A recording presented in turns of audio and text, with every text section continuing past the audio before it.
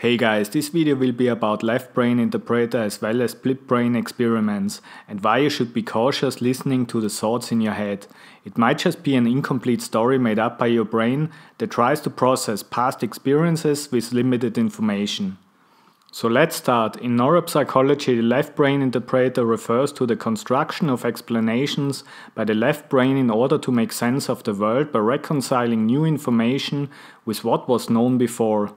The left brain interpreter attempts to rationalize, reason and generalize new information it receives in order to relate the past to the present. The concept was first introduced by Michael Gazzaniga, while he performed research on split brain patients during the early 1970s with Roger Sperry. In performing the initial experiments, Gazzaniga and his colleagues observed what happened when the left and right brain hemisphere in the split brain of patients were unable to communicate with each other.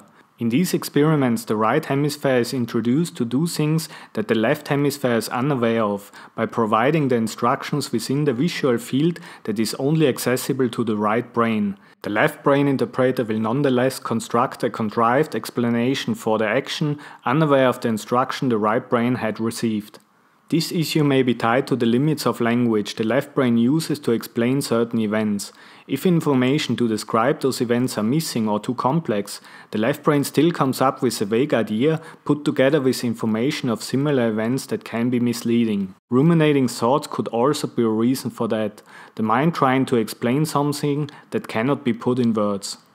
The drive to seek explanations and provide interpretations is a general human trait, maybe also to better be able to share each of our experiences and to connect with others.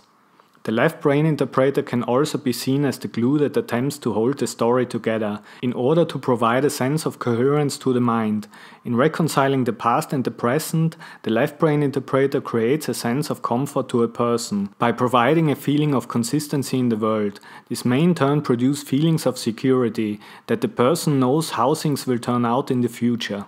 However, the explanations provided by the left brain interpreter may also enhance the opinion of a person about themselves and produce strong biases which prevent the person from seeing themselves in the light of reality and repeating patterns of behavior which led to past failures. The explanations generated by the left brain interpreter therefore are balanced by the right brain systems, which follow the constraints of reality to a closer degree. This is often experienced when words said or heard don't match your feelings, giving you an indication that the verbal interpretation of you or others are flawed. Well, I hope you guys enjoyed the video, please thumbs up if you do so and subscribe to my channel. Forward this to somebody who could be interested in the topic. Until then, over and out.